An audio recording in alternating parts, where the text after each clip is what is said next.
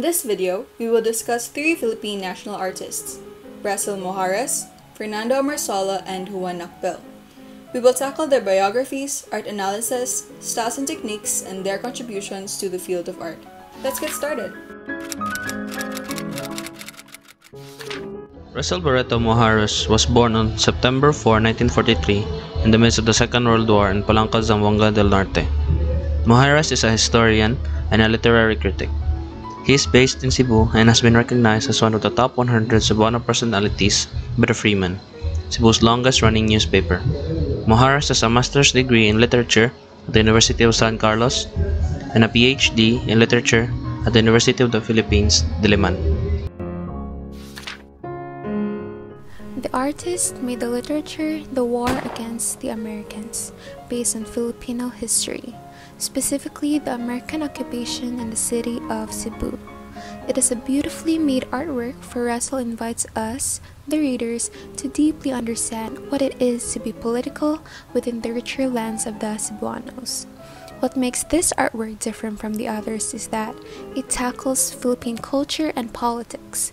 Additionally, the book brings together a large mass of original data not only on battles and skirmishes, but also on topics such as the finances of the resistance, collaboration and factionalism among Cebuanos, brigandage, and the background and motives of the personalities involved in the events. The author, Resil Mojares, created this literary work to uncover the beauty of our country's heritage and history. To attain this, the author builds a theory of culture and politics, thus, it also allows the readers to attain a better perception in the foundation of our country, the Philippines. The national artist, Resil Mojares, utilizes literature to write history in an active manner of recovery and invention, not just a retelling or recalling of past events. Mojares' compositions or literary works are available to his readers and the public. Resil Mojares' literary works are centered on Philippine literature, culture, and history. Additionally, his books are a medium for political and societal criticisms of our nation, the Philippines. His literary works covered topics ranging from the American occupation of Cebu to the lives of the political elite, all while exploring and uncovering the place of the Filipinos in past and present times. Mojares is the founding director of the Cebuano Studies Center, which is an important research institution which placed Cebu in the research and documentation map. He pioneered Cebuano and national identity formation. He has been a recipient of six Philippine National Book Awards, including the Philippine National Artist Award for Literature in 2018, calling him the Visayan Tyson of letters. His books include The War Against the Americans, Resistance and Collaboration in Cebu Province, Aboitiz, Family and Firm in the Philippines, House of Memory, Essays, and Vicente Sotto, the Maverick Senator. As a leading figure in cultural and literary history, he networked actively in many organizations. For over 50 years, Mojares has published in diverse forms, which include fiction, essay, journalism, scholarly articles, and books across a wide range of discipline, may it be literature, history, biography, cultural studies, and others. To date, he has 17 published books and edited, co-edited, and co-authored 11 books, and written numerous articles for popular scholarly publications.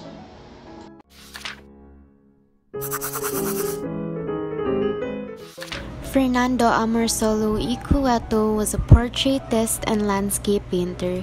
He was born in Calle Herran in Paco, Manila on May 20, 1892 and is best remembered for Philippine countryside paintings incorporating figures working in the fields. He also created portraits and World War II paintings. When Amorsolo was 13 years old, his father passed away. He and his family moved to the home of his mother's cousin, artist Don Fabian de la Rosa in Manila. He began to study and began to sell his drawings. In 1909, he began studies at the Liceo de Manila and graduated from University of the Philippines in 1914. He then attended the Academia de San Fernando in Madrid. Painter Diego Velázquez was an influence on his work at this time in his career. During World War II, Amorsolo painted in Manila. The style of his work changed at this frame from a brighter palette focusing on landscape paintings to a more serious somber style that often featured wartime scenes, self-portraits, and scenes that included Japanese occupation soldiers.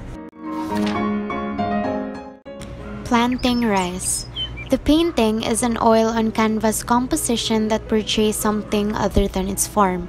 It exhibits the contemporary life of the Filipino farmers in 1951. Behind the workers is a farmer with carabao plows.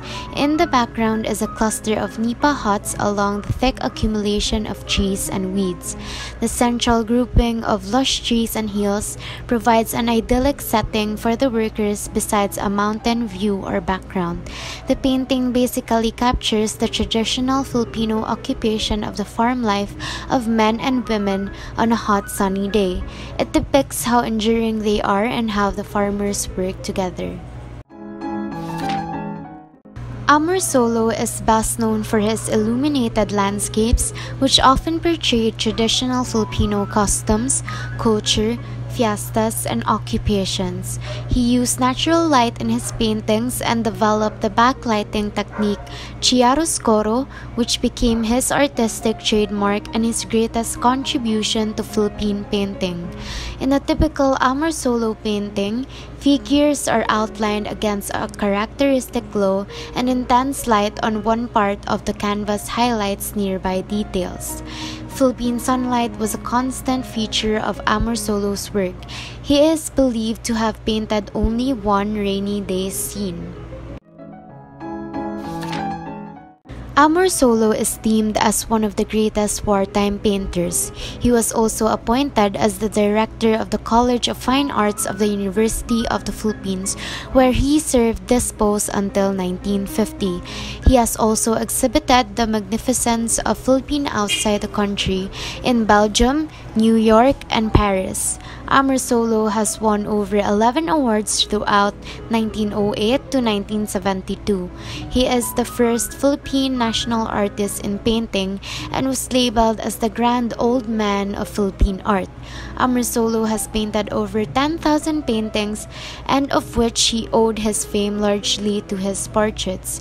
His works in oils include portraits of Philippine presidents and leaders including Emilio Aguinaldo and General Douglas MacArthur.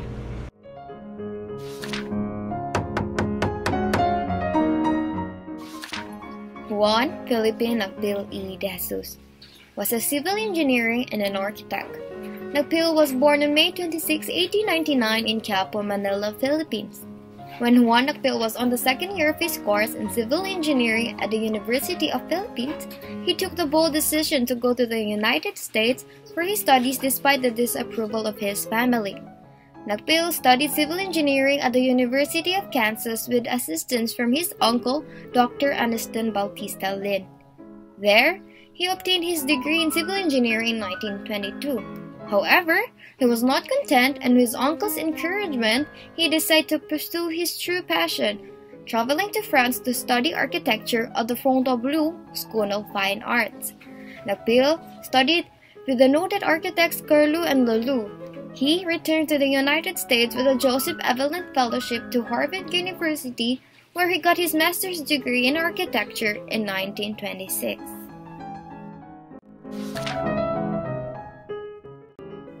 One of Juan Nakpil's notable but demolished project is the Capitol Theater. The Capitol Theater was built in 1935 and renovated after the Second World War. It was one of Manila's modern theaters with a capacity of 1,100 people. The Capitol Theater was designed of Parisian industrial and geometric quality, hence was labeled as an Art Deco. It resembled a ziggurat tower and was decorated with geometrically woven real work and has relief sculpture by Francisco Monti. The sculpture were two women in barot saya, one held a theater mask and other carried a lyre. Juan Napkil spoke of a Philippine architecture that was attuned to the climatic and seismological conditions and the environment of the nation. His designing principles were primarily based on the structure of Philippine houses and indigenous materials. Napkil has created in time a diverse catalog of structures, showing influences of French Beaux Arts, Arts Deco, and international modern style. A master of designing, Napkil was able to merge and create a distinctly Filipino style with the different mediums he handled. Moreover, intermingled tradition and culture in his projects. Napkil founded the Philippine Architects Society, now labeled as the Philippine Institute of Architects. It is the oldest architectural society in Asia. Napkil has contributed through his body of work a style of architecture that has elevated the standards of architecture in the country. His major works are Jeronimo de los Reyes Building, Magsaysay Building, Rizal Theater, Capitol Theater, University of the Philippines Administration and University Library, Manila Jockey Club, Philippine Village Hotel, and many more. He also reconstructed the Quiapo Church and Rizal House. It was named Architect of the Year in 1939, 1940, and 1946, and Most Outstanding Professional in Architecture in 1951 by the Philippine Association of Board Examiners. Napkil was bestowed the Gold Medal of Merit by the Institute of Architects in 1950 and the Presidential Medal of Merit by President Ramon Magsaysay. In 1973, Juan Nakpil was awarded as the Philippine National Artist for Architecture, the first in the category. Let us honor our national artists, those in the past and present, for their impact on the creative spirit of the Philippines. Thank you for listening.